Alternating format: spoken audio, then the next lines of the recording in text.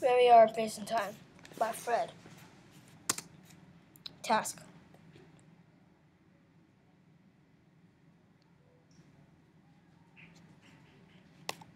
Man the moon. What happened? On 21st July 1969, Neil Armstrong landed on the moon and put the flag of USA on the moon, and he rode the Apollo 11 to the moon. How did I know? I was reading Carpenter's text and I learned about it. Now I remember and I looked back at it. 9-11 attack. What happened? Osama bin Laden's troop hijacked the plane and crashed the Twin Towers, making the tower fall on people and killed about 1,010 people. I am not really sure.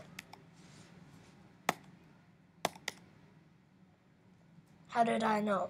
I was learning about it last year and it was recently so I could remember a little bit and my mom told me about it. The end always rocks.